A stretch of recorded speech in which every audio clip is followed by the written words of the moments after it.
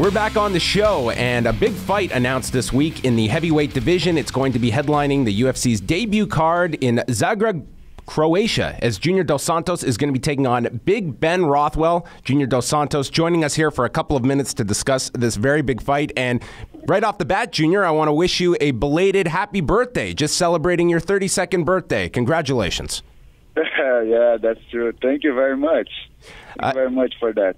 Uh, this is a very big fight in the heavyweight division, and one that uh, I'm curious your reaction when you were offered Ben Rothwell, who's on this this great winning streak. Were you expecting to get someone like a Ben Rothwell here, uh, coming off your recent loss to Alistair Overeem? Yeah, actually, you know, I, I don't pick opponents. You know, I would fight anyone that UFC put in front of me. I was expecting to to fight, I don't know, maybe Arlovsky, maybe uh, Travis Browne, any one of these guys, you know. But they, they, Ben Rothwell, Rothwell was the guy that accepts the fight. So uh, I'm happy to be facing him. You know, like you said, he's coming from great victories. Uh, he's living a great moment in the division, so it's going to be a good fight for the fans. You know. Were there a number of opponents that were being discussed with, with you and your team, or was it always Ben Rothwell that was uh, the option on the table? Well, uh, we we I think uh, they they said some things about uh, Arlovsky and Travis Browne, but uh, I think they can't because they are not able to fight now. Uh, but Ben Rothwell was the guy that accepts, and right now it's the the only thing that matters for me, you know, because uh, he, like I said, you know, he lives lives a, living a great moment in the career, and I'm coming from uh, you know, a, a tough moment. So it's going to be a great fight for me to to come back on my winning streak. Have you had the chance to sit down and have you rewatched the Alistair Overeem fight where you've been able to take maybe the immediate emotion out of it and, and watch it uh, from a more neutral position and kind of watch for what went wrong? What are some of the conclusions coming out of that fight for yourself? Yeah, uh, yeah, I did watch that fight sometimes, and uh, well, uh, yeah, many mistakes, man. I, com- I I did so many mistakes, and uh, uh, I think you know uh, my strategy wasn't that good, and uh, I don't know. I was feeling like too too much time without fighting. Maybe maybe me maybe made me more nervous for that fight. I I, I can't explain very well but uh, I saw the mistakes I committed on that fight, so I'm correcting them, you know. And uh, now I want to keep uh, a better frequency frequency of fights, you know. Then I I think I'm gonna be feeling uh, as I as I as I feel normally, you know, and uh, bring the back the normal JDS to inside the octagon to to to get that victories. Did you inform the UFC that you wanted to fight as soon as possible? You mentioned, you know, you had the one year layoff after the win over Stipe Miocic, and that can be uh, for some fighters having that ability to take a few steps back and then take some, some, time off. It can be a good thing, but as you outline, it, it also comes with its negatives having that long of a layoff.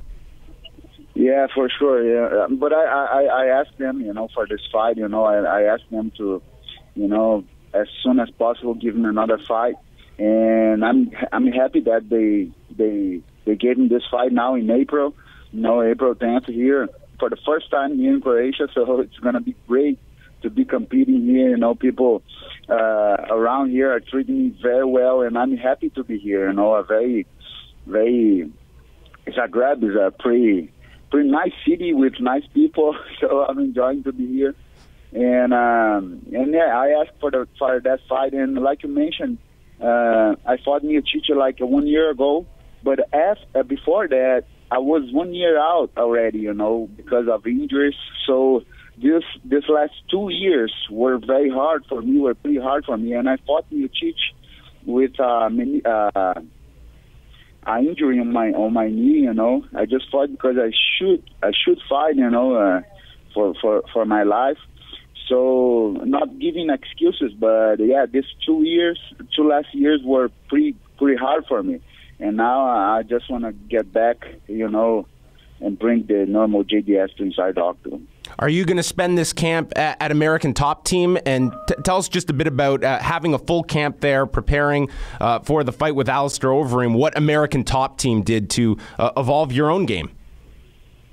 Well, yeah, the American Top Team is a great and big team, you know, and they have a great structure there, you know, to support us. And I'm I'm happy to be there, you know. I'm I think I'm learning new things, you know. I'm learning a lot to be there.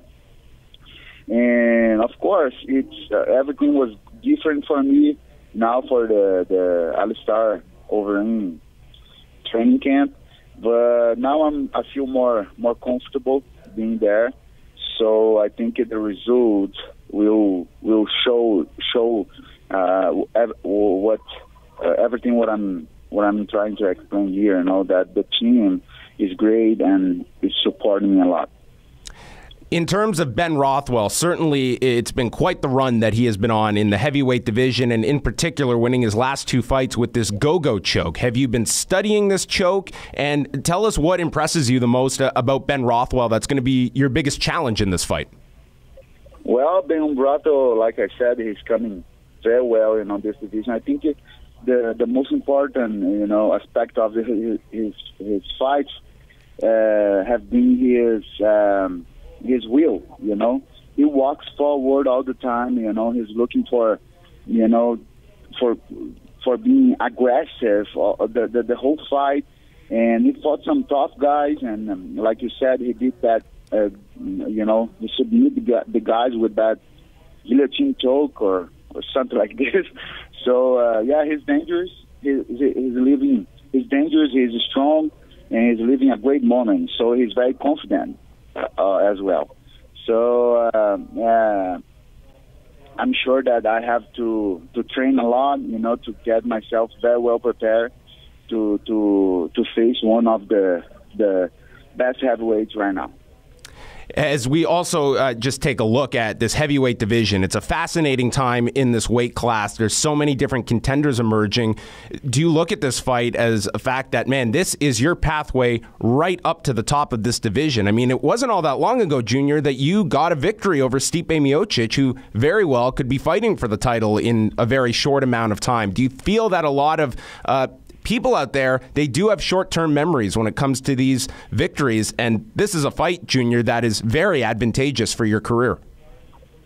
Uh, yeah, for sure. I feel like that. You know, I feel with a win on April April 10th over Ben Rothwell, we, it's going to be the, the win that that I need right now. You know, to put me back to put me back on the, like on top of this division. You know, and close to fight for the title uh, again.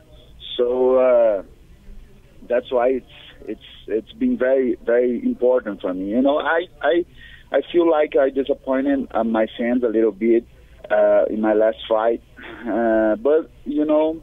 Uh, uh, sometimes the things doesn't go the way we want. It happens a lot with everything, you know. So uh, Uh, right now I, I'm, I'm sure I know what I have to do. I'm trying to do, and I'm, I'm working hard.